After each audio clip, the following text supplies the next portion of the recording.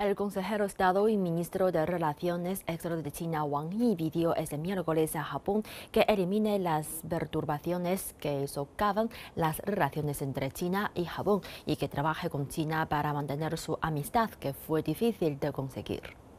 Wang hizo las declaraciones durante una reunión virtual con el ministro de Relaciones Exteriores japonés Yoshimasa Ayashi. Por su parte, Ayashi dijo que Japón y China comparten amplios intereses comunes y disfrutan de un enorme potencial y amplias perspectivas de cooperación.